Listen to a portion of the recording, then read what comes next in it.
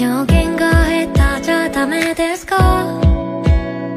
冷たい年のあったかい声を。好きという言葉もダメなの。素直に私言いたいのに。消えていや消えないで気持ち見せてやっぱ見せないで。頭の中君のことばかりとにかく会ってみない。今日から君と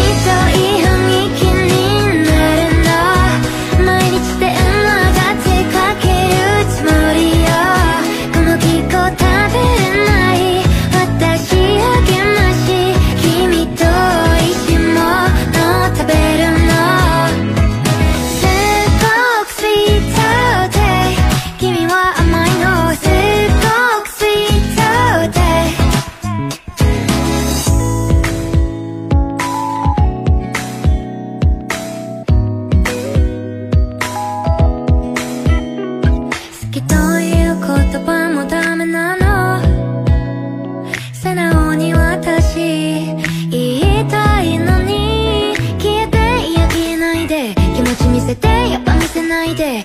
頭の中君の